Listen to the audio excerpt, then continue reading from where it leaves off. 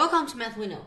Comparing which is larger, 100 to the power 99 or 99 to the power 100. We've noticed that their forms are the same. That is, the base to the power and exponent. Both of them have exponents. So now I would like to do the division. I would like to let 100 to the 99 to the power 99, then let it divide it 99 to the power 100. Now I have to pay attention to denominator. It's 99 to the power 100.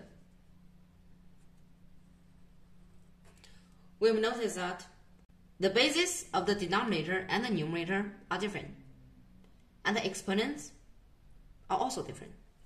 So I think I can write the denominator 99 to the power 100 as 99 to the power 99 because here the exponent is 99 and let it and let it to spare it a 99. So 99 to the power 100 can write as 99 to the power 99. Then what? Then times 99. Very good. So here is 100 to the power 99 and divided by 99 to the power 99, then times 99.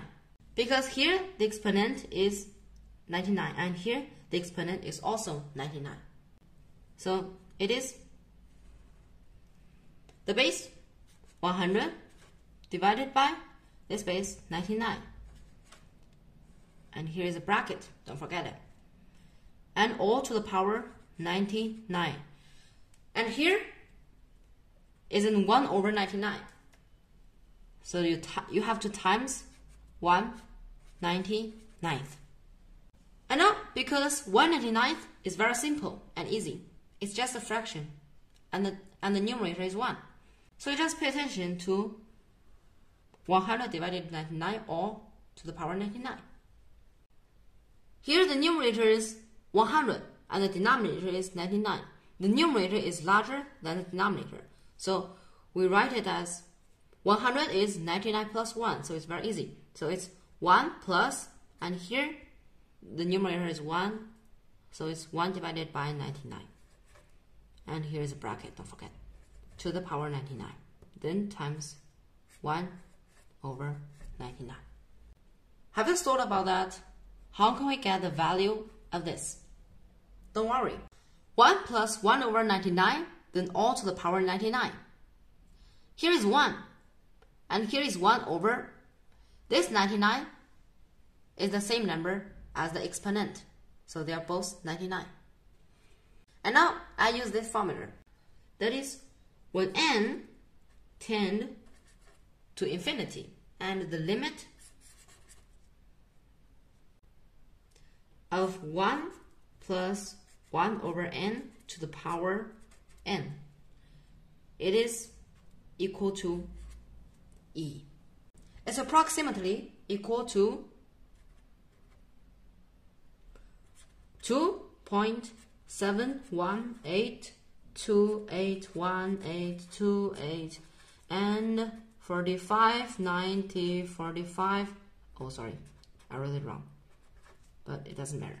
And blah blah blah blah. 2 is this integer part, and the 7 is the first digit is the first digit after the decimal point. And then 1828 1828 two times. And then 45 90 45. So it's very easy to remember that. Because we've already known that the limit of when n tend to infinity, 1 plus 1 over n to the power n is equal to e, the number e.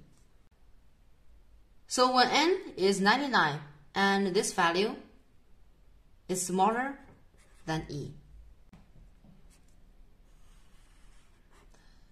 This value is smaller than e divided by 99. Because we did a division of 100 to the power 99 and 99 to the power 100. So if it is bigger than 1, then the numerator is bigger than the denominator. And if it is equal to 1, then the numerator is equal to the denominator. And when the value of this fraction is smaller than 1, then the denominator is bigger than the numerator. That is, the numerator is smaller than the denominator. So now we just compare e divided by 99 to compare it with 1. You know, e is this. So it is smaller than 1. So this value is smaller than e divided by 99. And e divided by 99 is also smaller than 1. So it is smaller than 1. We've got the final answer. That is 100 to the power 99 is smaller than 99 to the power 100. And don't forget to give me a thumb up, give me a like, and ring the bell. Subscribe me. We'll see you next time. Bye bye.